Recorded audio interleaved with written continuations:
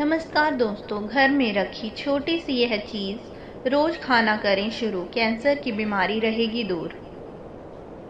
दिमाग के स्वास्थ्य के लिए अखरोट बहुत फ़ायदेमंद माना जाता है, लेकिन यह हमारे दिमाग के लिए ही नहीं, बल्कि कई तरह से हमारी सेहत के लिए भी फ़ायदेमंद है। अखरोट खाने से शरीर के लिए ज़रूरी vitamin fibre, protein, phosphorus, magnesium और omega three, alpha linolenic acid A L A सहित कई पोषक तत्वों की पर्याप्त आपूर्ति होती है। अखरोट के नियमित सेवन से कई गंभीर बीमारियों से सुरक्षा मिलती है।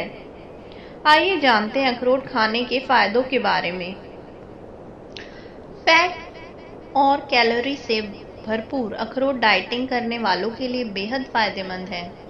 अखरोट में शरीर को फ़ायदा देने वाले वसा की उचित मात्रा होती है। इसके अलावा अखरोट में प्रोटीन और फाइबर भी होते हैं, जो शरीर को ऊर्जावान और सेहतमंद बनाए रखते हैं।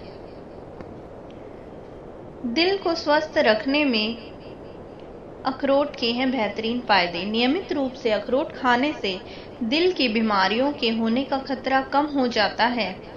दिल के स्वास्थ्य को बरकरार रखने के लिए अखरोट को रोज़ाना अपने आहार में शामिल करें।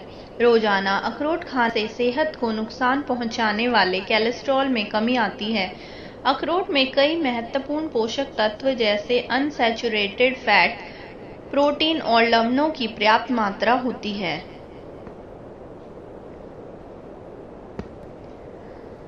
शरीर में मेला टॉनिक नामक हॉर्मोन्स की कमी हो जाने से नींद नहीं आती। अखरोट में मेलाटॉनिक पर्याप्त मात्रा में पाया जाता है। जिन लोगों को नींद न आने की समस्या होती है, उन्हें अखरोट खाने की सलाह दी जाती है।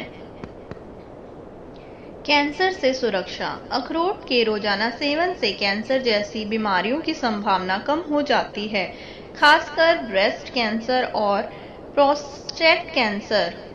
के बचाव के लिए अखरोट काफ़ी फ़ायदेमंद है।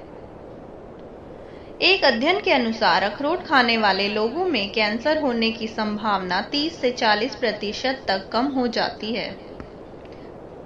तो ये थी जानकारी अखरोट के फायदों के बारे में। इसी तरह की अच्छी जानकारियाँ लेकर हम फिर से आएँगे। तब तक के लिए नमस्कार। स्वस्थ रहें, खुश रहें।